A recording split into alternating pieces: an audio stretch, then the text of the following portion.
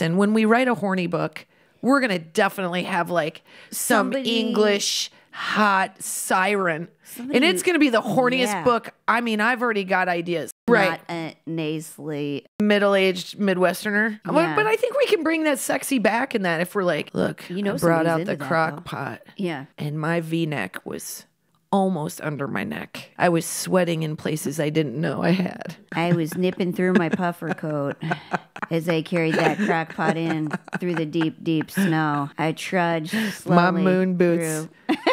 my moon boots. Leaving on. a trail of sexy behind me. I slowly slid behind the wheel of my Pacifica. of my Chevy Traverse four wheel drive. You know it.